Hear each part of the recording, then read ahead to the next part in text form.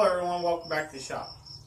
Today, I'm going to be explaining my reason why I do not dress my anvil edges. Thanks for watching. Here we are everyone, at my anvil. This anvil is a 465 pound beauty uh, that I've purchased just this year. Um, I've affectionately named her Olga, um, and I absolutely love working on this anvil. Um, this video is not going to be very long-winded. I'm going to try to be short and quick and to the point.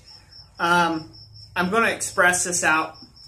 Guys, put your comments, uh, your thoughts in the comment section below.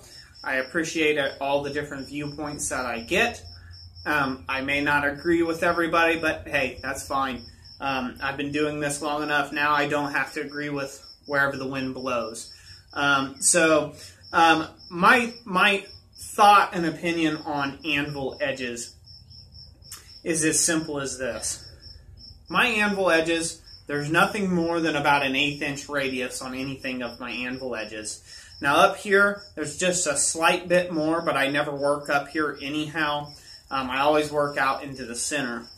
But I never put any more than an eighth inch radius on any of my anvil edges and I don't try to dress them. This one was already dressed with an eighth inch radius and that's the way it's going to stay unless I ever have any problems with any chips or dings or something that I've got to work out at the anvil.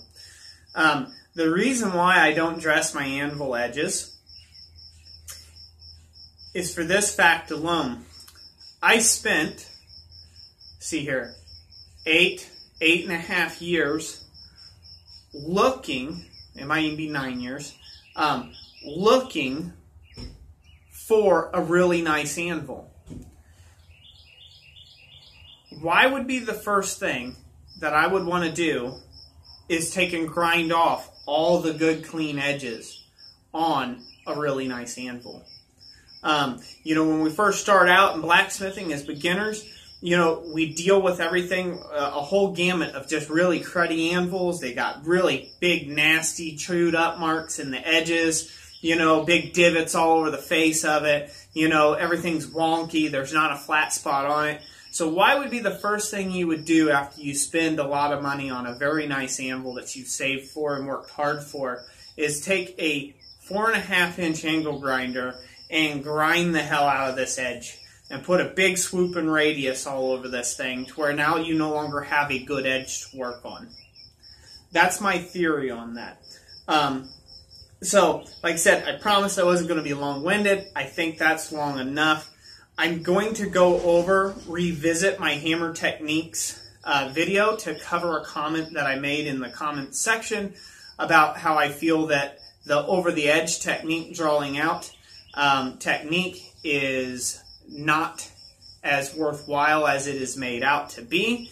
And, and I will explain more in detail uh, why that is um, in a, another video. Look for that one. It'll be called Hammer Techniques Revisited. Um, these are simply my opinions on the subject.